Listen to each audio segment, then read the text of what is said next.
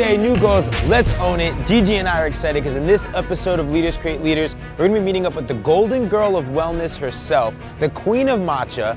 She's a six-time best-selling author. We're gonna get into her new book, Kintsugi Wellness. She's a journalist, she's an influencer, she's a speaker. She's literally one of the most humble, amazing human beings I've ever met and honestly someone that you should look up to, especially in the health and wellness space. We're gonna get into the untold story of Candice Kumai.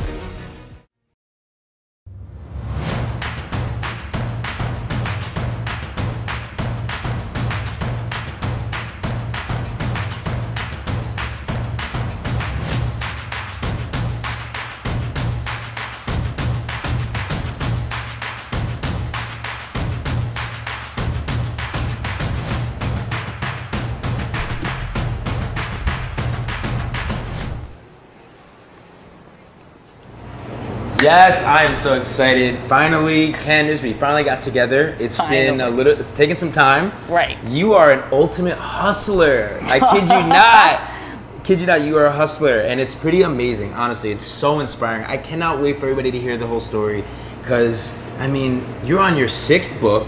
You are a rock star chef. You've been on Top Chef. You're on E, Dr. Oz. The, probably the list goes on and on. It's so inspiring as a female, unbelievable chef. You're embracing your culture more than ever before now, which I really want to get into because I think that really relates to where I'm at in my life right now. And fun fact, I love to cook. Nice. Yeah, you might not have known that. Fun fact. But on my Sundays, I'm trying to cook. So, you know, I may need to get some lessons uh, to learn about some of your amazing recipes. But it's really, uh, like I said, it's so inspiring. But I really want to hear from you. How, first and foremost, how do you feel? You know what? I feel good. We just came off of a three day shoot right now. And every time Gerard and I would text each other, it would be like, I just landed here, I Yeah. landed there, I'm in the air right now. He said that to me a few times. I was like, oh, really? so, Yeah. and we met in New York City at another friend's book launch party that we were both promoting. So it's always nice to see other Yeah. people that are working as hard as you are. So I feel really good. I feel really blessed and grateful that you wanted to do this because I also thank like you. see that you you really hand selected your audience and they hand selected you, which is really rare. You know, it wasn't like you were on mainstream TV and built your audience, or shall I say, the network built Yeah. it for you. You came from the ground up. So it's always nice to meet other artists that are working as hard as you are and keeping you on your toes. So thank you. I feel very good. Oh, I love it. Well, I'm honored. I'm honored. Like I said, I can learn so much from you. Um, so I'm really excited. You got the new book coming out, Kintsugi Wellness. Right. Which I need to learn about this kintsugi. You know what I mean? You gotta, you have to put me on. it's like golden magic. Really? So you're spot on. It took me six books to realize that I never was supposed to fit in. So you'd see me write about clean green eats and drinks and wellness and cook yourself thin and sexy and all that. Right. But it wasn't heartfelt and it wasn't like from the core meaningful until my publisher actually I was gonna write Clean Green Wellness, another basic bitch book, which Yeah. I could have written no problem. Right. But anybody could have written that book. So the bigger thing was she said, I want you to own your heritage and write your Japanese book next. And I was like, whoa, because I was not ready. I came off of a very bad breakup. I was still very broken and fragile. And I thought um, wellness was kind of a security blanket for me. So we Right. tend to write about what we are comfortable with writing Yeah. that we know society is going to accept, right? Right. If I talk about Japanese stuff, I don't know if people are going to accept, Accept you, it. yeah. I don't know if they're going to tease me. I'm going to be judged. It was weird. I was like, I'm not ready for that. And then she she actually said, "You absolutely are." And then when I realized like I'm not 23 anymore, I've got to do this now. Because if not Right. now, when? Right. right? So that was like the big question about when I would finally write about my Japanese upbringing and my story of struggle and adversity and Yeah. perseverance in the food industry. I love that. I really want to talk about that first and foremost, and I want to say that it's it's so on like aligned with where I'm at. you know, I obviously I love this show more than anything because of this exact reason, right? I want to connect, I want to hear that story just as much as like the audience wants to.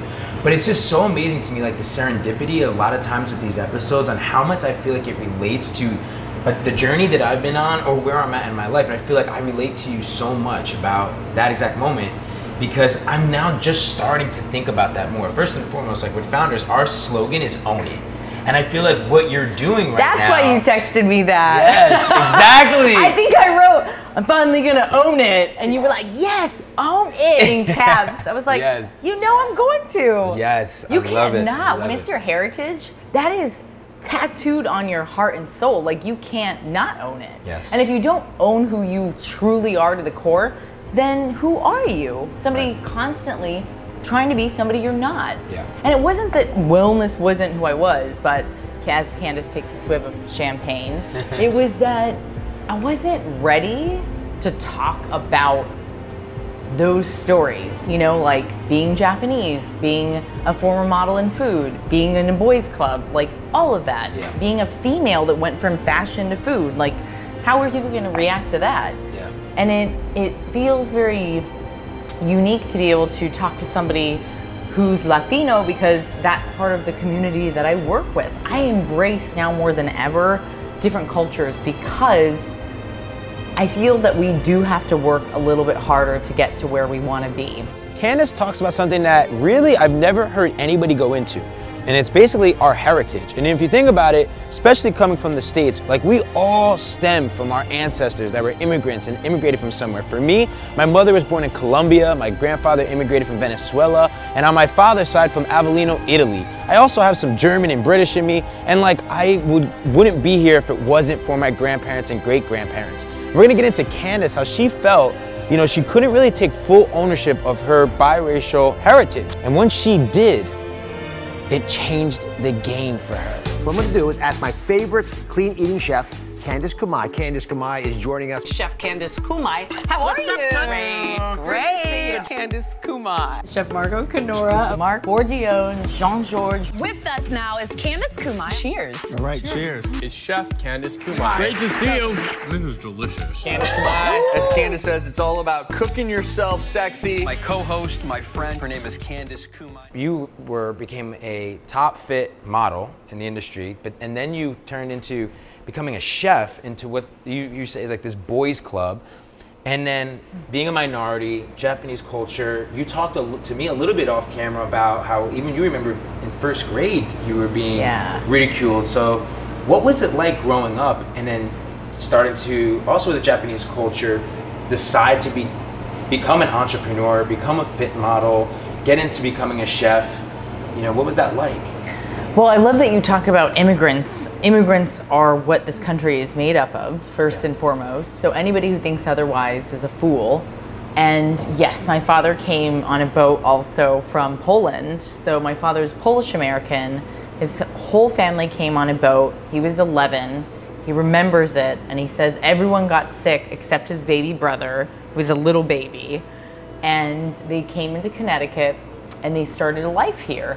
And my father was lucky enough to speak English, so that set him apart from his older siblings. By default, my father, who enlisted in the Navy and then later met my mother in Japan, and my uncle, who was the baby, who enlisted in the Air Force. He was a fire captain in the um, Air Guard, and my father was a naval, like he was a engineer in the Navy. He said that was the only way that you didn't get slaughtered. So if you were on a boat, so he enlisted in that um, back in the day. And turns out that becoming truly American meant that you served in the military, and that's how I met mom in Japan. So my story is about my parents almost more than it is about me or my sister because I'm not successful. My parents are successful. And I, I really, really believe that. And I, I almost want them to know how they are the most impressive two people I've ever met. They're altruistic, they're loving, they're kind, and they're honest. Yeah. So learning from them was gold. Um, but dad met mom in Tokyo, where my mom was a school teacher. She's very young and hot and fab. Love it. I'm going to Tokyo in a month. yeah. It's so amazing. You're Yeah. gonna die. Can't wait. I'll give you some tips. Cool. The women are beautiful. The culture is fascinating. Watch Jiro Dreams of Sushi if you haven't already. Okay. Watch Steve Aoki, I'll Sleep When I Die. Okay. You'll start to learn about Kaizen, which is a Japanese term for continuously improving. So, first and foremost, when dad met mom, I asked my mother, I said, What brought you and dad together? And I interview my parents in my new book. And she said, You know, I just wanted to practice English with your father and his sailor friends. And then dad says, you know, we wanted to travel together and see the world. So mom then says, You know, me and your father had a lot in common actually. We really enjoy other culture and sharing. so my mom had never been to any other country except Guam, which doesn't count. Sorry, Guam. But mom, mom marries dad. They have a Japanese wedding in Japan. She's Buddhist, Wow. still is. They have an American wedding in Connecticut. He's Christian, still is. And they get married in Connecticut. And she moves here. And she moves here not knowing one person, one thing. Wow. She barely speaks perfect English. Connecticut didn't have any Asian people in the 70s. I commend her Wow, adversity brave. and very. I always say that. I'm like, are you crazier than me? Because you think I'm crazy, but you're the one who did more daring things than I did. But you definitely have that courage in your DNA. There's no doubt about it. When I was born and raised in San Diego, it was all white and Hispanic. Right. So my sister and I are two half Japanese girls, Jenny and Candice Kumai Gwizdowski. So if you can only imagine growing up with that name, having a mom with that accent, having a dad who's totally white, with Yeah. the last name with 11 letters, I got teased every which way. It was like I got every joke, and it was the butt end of every joke, and I was like, whoa, like how did this happen? All the boys that teased me when I was really young tried to ask me out in high school. I was like, you don't think I remember? and then when you get older, the teasing comes in a different way. Like there was a lot of playful flirting, but there was also a lot of crying in the walk-in. Like after culinary school, I went to cook at the Ritz Carlton in Laguna and also at Roy's uh, downtown LA. And they I've cried in dumpster areas, I've cried in walk-ins, I got talked shit to so many times in so many different ways. Like, don't you want to be a chef? Like, you should be here for years. Um, this is, you know, we've like G-rated our conversation in the kitchen so that you don't have to hear all the bad shit. And even on Top Chef, it was the first season. We didn't know what it was. It was a really accurate depiction. I got picked on bad on that show by two people that must be very insecure because I, I was just smiley and loving and funny and laughing. I thought I was in culinary school the whole time. Um, I couldn't believe at 23 being in culinary school on that show that people would come after me. Do you think it was more because age, uh, ethnicity, female, gender, like what, all the above? Like what, what caused? Did people feel threatened by you? I don't know. What was it? I wouldn't have been threatened by a culinary student. I had brace students in my life. I have interns. I have, you know, PAs. I have all kinds of students that come to me for advice, and now I'm a mentor, which is a little scary, but I know the feeling. I know the feeling very well. But a lot of times it could be, you know, people have the ego. They sometimes feel like they come, So the youth on the come up. I don't know.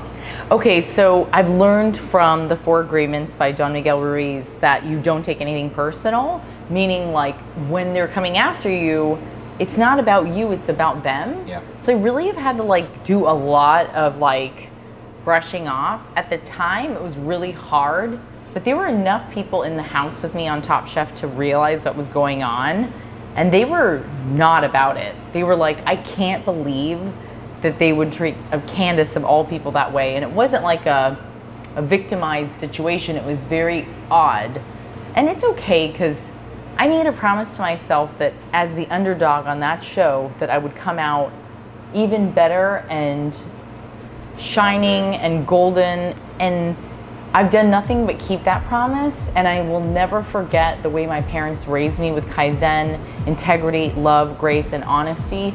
Those are the things that really mattered and Thank maybe God go back to those values. Always. I couldn't imagine. I mean, I'm here in New York. My sister's in London. My parents are in SoCal. My mother's whole family is in Japan. My father's family is in Connecticut, Poland, Chicago, Florida. We're kind of all over the place on Yeah. dad's side, but I'm the only one here and I've got to crush it. Like I've got to represent and nobody's pushing me, but I am an independent single female running my own business and have for 10 years. Yeah. I didn't choose this career, it chose me. Yeah. And I'm just following the path. I didn't choose to write six books. It's the next thing that's on my lineup, and I will never, ever follow a path. I will only trailblaze. I love it. So we're gonna get into the philosophy of Kitsugi, which is, you know, Candice's sixth book. Really, the philosophy stems from a Japanese culture, and back in the, literally in the in the old days, Kitsugi meant where if somebody broke, let's say a pot, and it broke into pieces, they would put it back together using gold, and then to their master they would apologize, and they would actually sacrifice their lives. But the way that Candice looks at this philosophy of Kitsugi now is the sense that, look, we all have imperfections. We all have insecurities. But it's when you embrace all of that, when you understand that, like, we all go through moments in our life where we are broken, but you can put those pieces back together. And it's when you do and you're fully embrace who you truly are that you really live your authentic self. So back in the day, if a servant broke a master's bowl, this is how far back it dates. They would give the bowl to a kintsugi artist or master who would repair it with lacquer, the cracks to like a bowl, a cup, whatever it is. They would use golden powder and dust it. So there's like cracks that are just gold. And they would kill themselves, which is the extreme. Oh, and they'd make sure that they would get have the artist give the master back the piece. And it was a sign of honor and respect. I broke this, I'm sorry, I'm honest, and they would kill themselves.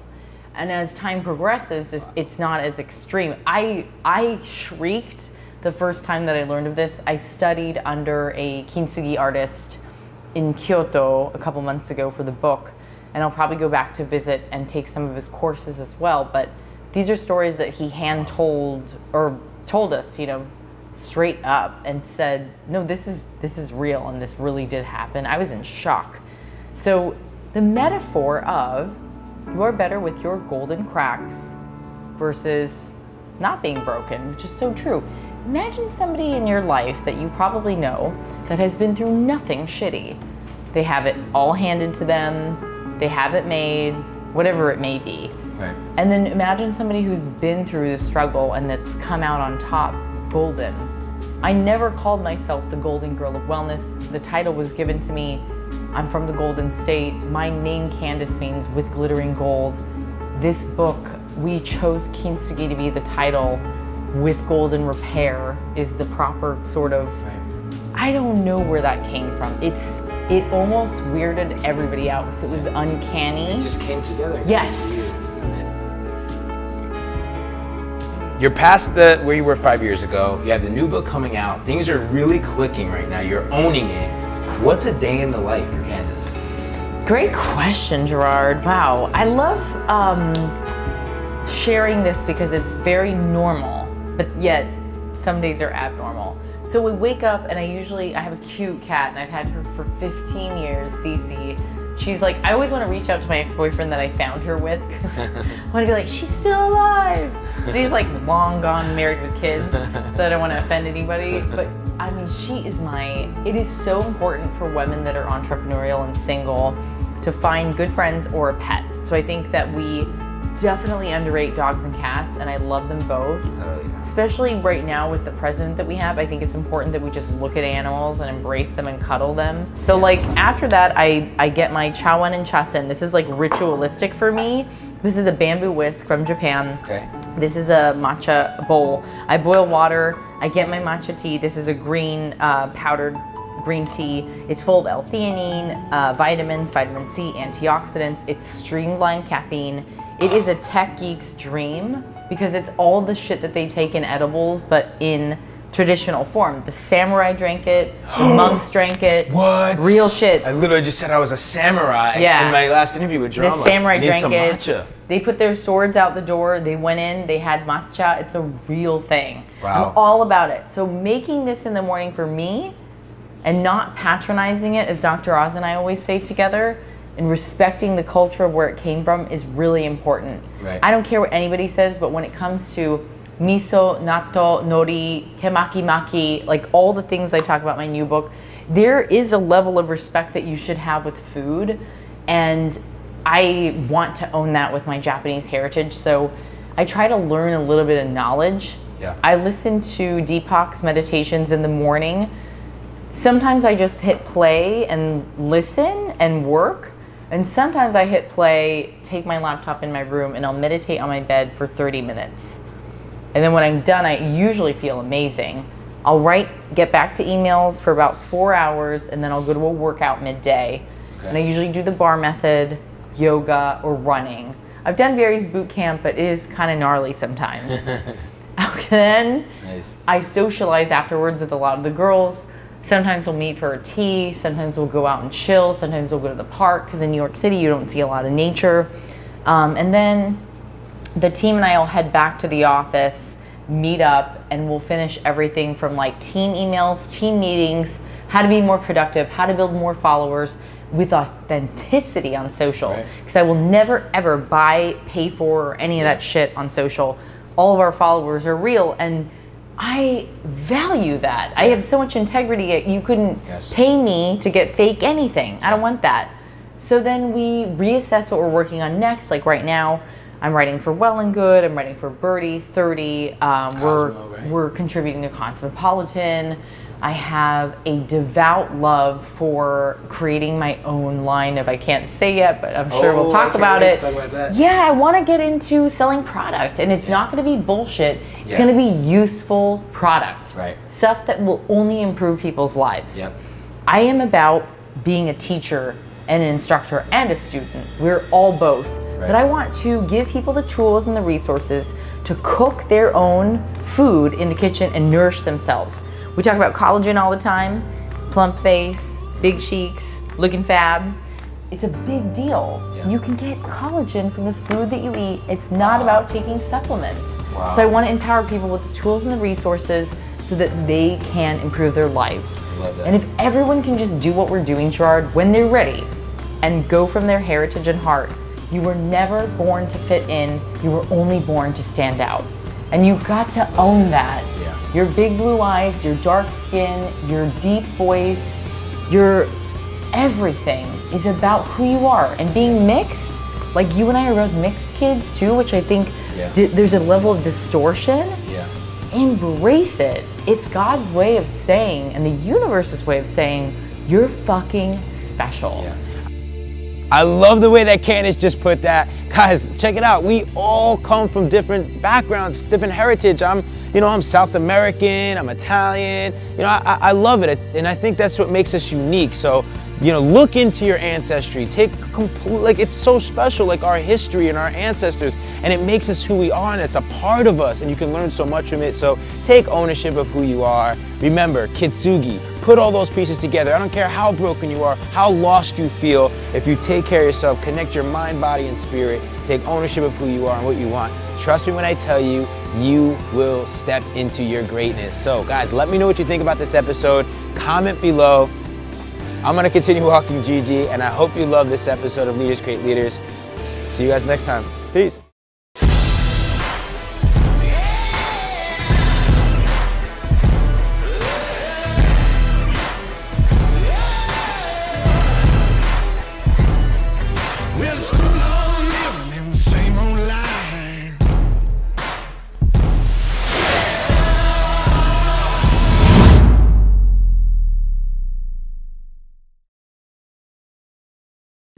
Guys, if you want to see the full, raw, and uncut version of this episode, each one of our interviews are over an hour long, and we go way more definitive with each one of these leaders about how they live their life, you know, all their lessons, all their strategies. And if you want the full episode of Candice, make sure to sign up to Founders, and I'll see you guys on the inside. Peace.